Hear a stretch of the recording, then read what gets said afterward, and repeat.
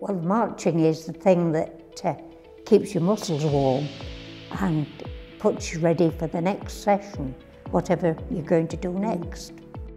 We're not trying to punch anybody. Keeping active is key when it comes to staying well and independent throughout the year. However, winter is a time where people probably aren't as active as they normally would be. We're here in Bramley to meet members of the Strength and Balance class to find out how to help us help you stay well and active this winter. People have falls more because they get lose their balance, they lose their strength, they feel uneasy on their feet and they lose their confidence. So all those things sort of um, spiral and then they sort of, because they're not moving, they get other medical conditions as well.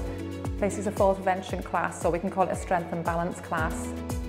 Shown how to get up and down the floor, so they had a fall, um, we show them how to get up using a chair off the floor. Um, we show them how to turn around on the floor, how to move around on the floor as well. And if they did find themselves at a lower level, um, what sort of things to keep at lower level, like having a mobile phone or some kind of phone, blankets, uh, water to keep hydrated. Why do I attend? I attend because I want to keep mobile. Oh, it's made a great deal of change in my life. Now I don't need to walk with my stick in the house.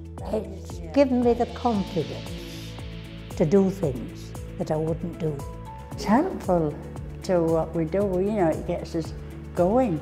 Gives you that independence. Gives you your independence back. It is very easy to just sit in your chair and moulder. You can't do that. Yeah. It's important to keep active because you do lose it and, and you just everyday activities, just doing simple things if it's walking around, going upstairs, if you've got stairs in your house, just keeping up that strength is really important to do that, um, as I say, because you lose it otherwise.